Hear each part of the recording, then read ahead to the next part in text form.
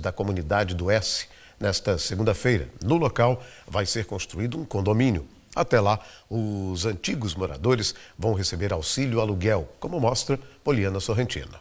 Prefeitura Municipal de João Pessoa começou hoje o trabalho de demolição das casas aqui da comunidade do S, no bairro do Roger, justamente com o objetivo de revitalizar essa área e urbanizar também. A gente quer saber a opinião dos moradores sobre esse trabalho e a gente chamou aqui seu Zé. Seu Zé, o que, que o senhor está achando desse serviço que começou hoje? As casas estão sendo demolidas. Vocês têm essa expectativa de conseguirem um novo imóvel? É, isso foi prometido no começo da, da, dessa gestão, né? E a gente acreditava, e realmente está acontecendo agora. Na verdade, incomoda alguém, a gente sabe disso, mas é, é um, um, incômodo apenas temporário, que para o melhor, né? Pra... É um incômodo necessário. Necessário, sem dúvida nenhuma. Isso tem que acontecer. A gente não pode fazer uma coisa sem acontecer outra. É, é a causa e o efeito, né? A gente sabe disso. Quais são os problemas aqui da comunidade? O, é, o problema antes é enchente, muita lama.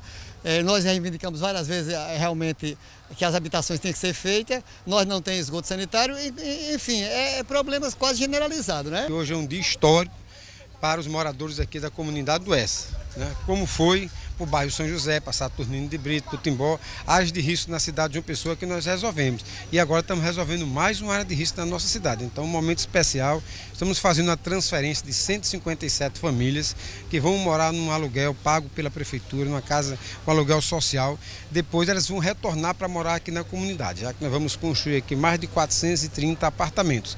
Além disso aí, a saída deles aqui momentaneamente é para que a obra de infraestrutura possa avançar mais ainda, que a gente está fazendo drenagem, pavimentação, a gente está fazendo algo que é muito importante em relação ao esgotamento sanitário, a gente está fazendo intervenção também de padronização de calçadas e vamos ter aqui também a área de esporte e de cultura, vamos ter quadra poliesportiva, a gente vai ter um galpão é, cultural aqui, nós vamos ter uma, um espaço também para os pescadores, uma caiçara para os pescadores que moram aqui na região, box para quem trabalha com comércio aqui, continuar comercializando seus produtos.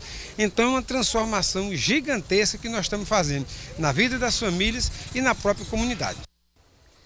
Está sendo julgado